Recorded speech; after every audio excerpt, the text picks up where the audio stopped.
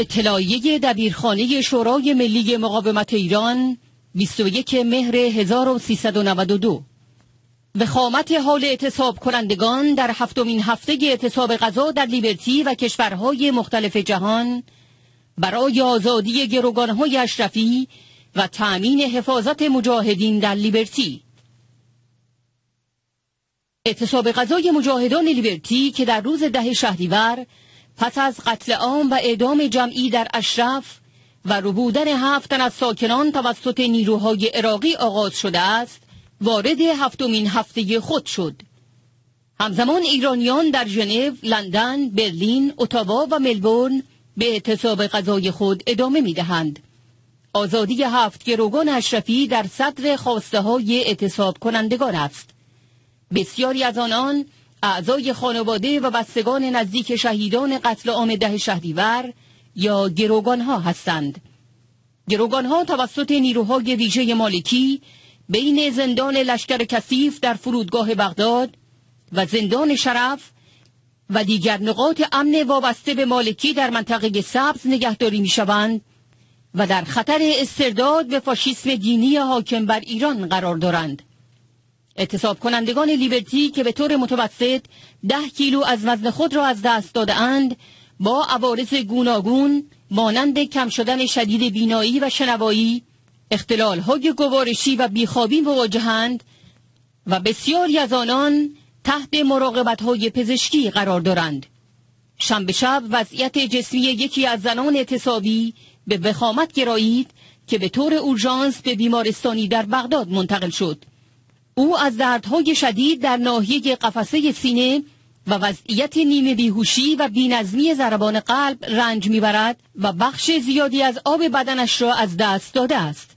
اعتصاب کنندگان در کشورهای مختلف نیز با عوارض مشابهی مواجهند و بسیاری از آنان در وضعیت وخیمی به سر می‌برند و نیاز به مراقبت های ویژه دارند.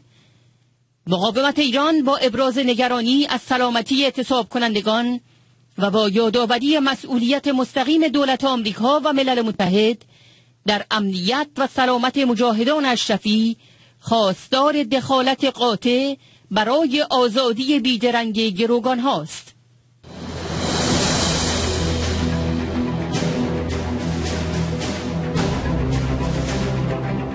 سفیر آمریکا در عراق.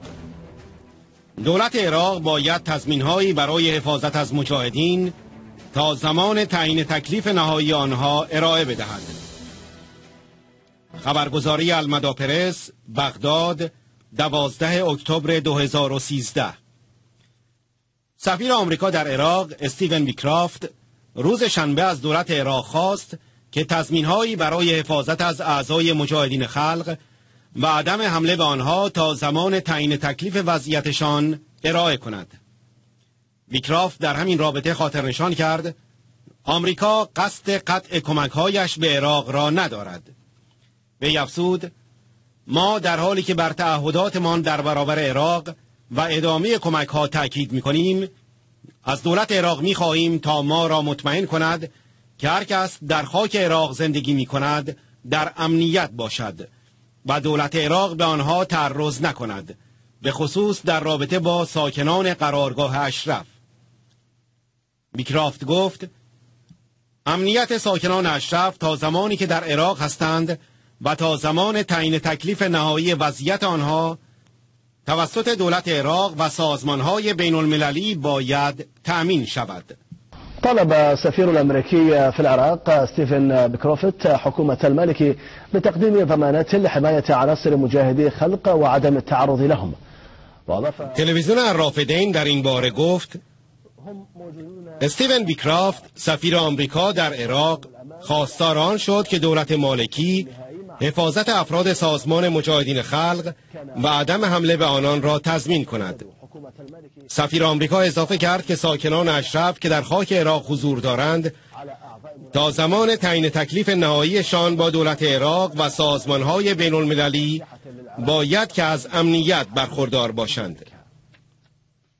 رافدین افزود اعضای کنگره آمریکا دولت مالکی را تهدید کردند که اگر هر حمله دیگری علیه اعضای سازمان مجاهدین خلق صورت بگیرد کمک های اختصاص یافته به عراق را قطع خواهند کرد و گفتند در صورتی که چنین حمله ای صورت بگیرد هر گونه قرارداد سلاح در آینده بعید است که مورد تایید کنگره قرار بگیرد.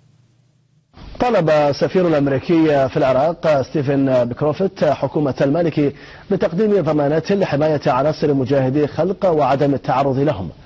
وأضاف السفير أن سكان معسكر أشرف هم موجودون على أرض العراق فلا بد أن يتوفر لهم الأمان إلى حين حسم أمرهم بشكل نهائي مع حكومة المالكي والمنظمات الدولية. كان أعضاء بالكونغرس الأمريكي قد هددوا حكومة المالكي بقطع المساعدات المخصصة لها إذا ما تكرر أي هجوم على أعضاء منظمة مجاهدي خلق. واستبعد الموافقة على بيع أي صفقة أسلحة للعراق مستقبلا في حال حدوث ذلك.